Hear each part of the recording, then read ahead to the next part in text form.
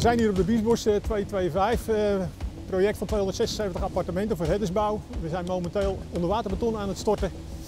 Een uh, proces van anderhalf jaar engineeren. En dit is eigenlijk een, stukje slotstuk daarvan en de volgende fase voor de bouw. In Nederland heb je een zeer hoog grondwaterniveau, vooral hier in deze regio. Dus op het moment dat je hier een pak een beetje meter gaat uitscheppen, dan komt het water al op. Dat kan je niet gaan uh, afpompen. Op het dat je dat doet, dan krijg je ja, bodemverzakkingen. Dus vandaar dat het zo gebeurt. Wordt eigenlijk een, de dammond wordt geslagen. Dan laten ze het water erin staan. We werken hier met duikers. Die zijn van het begin af aan zeg maar, betrokken bij het project. Die hebben ook de nodige inspecties gedaan voor het ontgraven. En toen zijn ze in een later stadium zijn ze ook echt dingen gaan doen.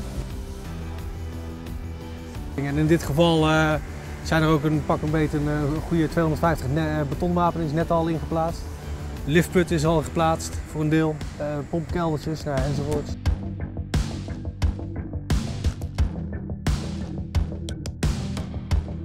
Ik als projectleider heb echt het gevoel dat we hier eigenlijk het hele proces al te maken hebben gehad met collega's. In plaats van dat we onderaannemer zijn. Dus dat is zeer tevreden. Ik loop ruim 40 jaar in de bouw. Dit is mijn eerste onderwaterbetonstort en dat, ja, dat maakt het gewoon speciaal.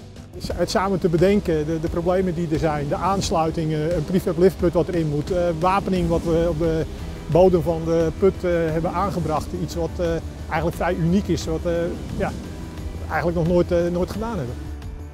Nou, als de onderwaterbeton is aangebracht, dan het meest spannende moet dan nog komen. Om en nabij een week zullen we het water eruit gaan pompen en uh, ja, dan moeten we even zien of dat het allemaal waterdicht is. Het mooiste van dat is dat het uniek is en dat we dat uh, ja, ook samen met de kennis van Ballast uh, doen. En een soort samensmelting is van, van twee partijen in hun kracht.